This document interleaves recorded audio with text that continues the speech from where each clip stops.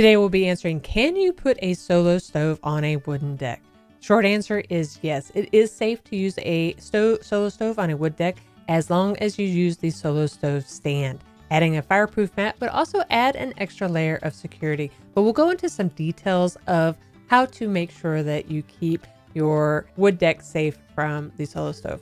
So should you use a stand or a fire pit, fire pit mat? Well, definitely you must put the solo stove directly on your solo stove stand as it can cause damage over time if you don't instead. And then if you want an extra layer of security, then you can add a fireproof mat underneath it. There are benefits to using both, but the solo stand is an absolute must. The solo stove does come with its own stand, so you can set the fire pit on that. The solo stove stand is made of 304 stainless steel and has holes designed to radiate the residual heat from the fire pit. That just means it prevents any damage from being caused. And then if you're extra cautious, some people have even suggested putting concrete pavers on your deck, then using the solo stove stand on top, but that might be overkill for some and they simply choose to use the solo stand and maybe even a fireproof mat underneath. And we've talked a lot about the solo stove. We even did a root Yukon review of this. It's a great smoke free fire pit. You probably know that because you already have one.